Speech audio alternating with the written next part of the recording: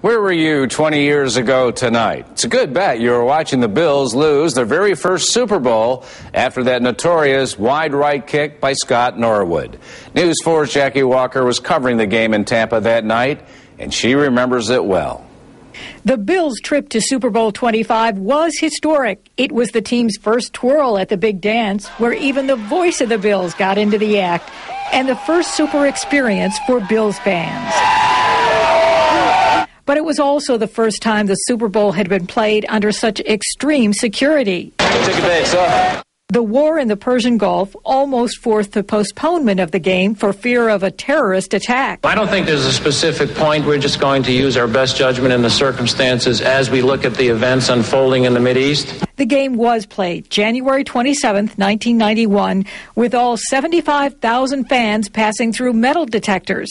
Cameras and radios weren't allowed in Tampa Stadium, and 500 police officers kept watch. I've never seen so many police cars and mounted police all over the place. What do you think about it? Excellent. A little bit too much, though. But the biggest problem for so many fans, they were so excited about the Bills' biggest game, they descended on Tampa without tickets. One miserable,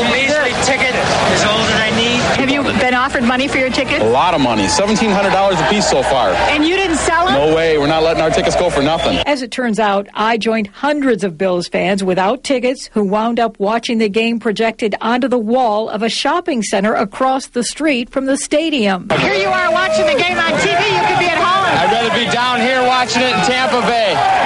This is great. We're having a great time down here. Folks did have a great time until those closing seconds when the phrase wide right left a permanent scar.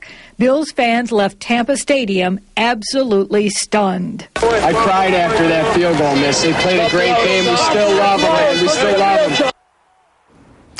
Oh, Jackie, I was there too, and it was so exciting until that wide right kick.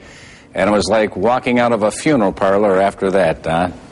Yeah, and, and, as I recall, the Bills were heavily favored to take that game. On paper, they had a much better team than uh, the Giants. Giants had their backup quarterback in, too. And yet, these things happen. At least we had four shots at it around here today.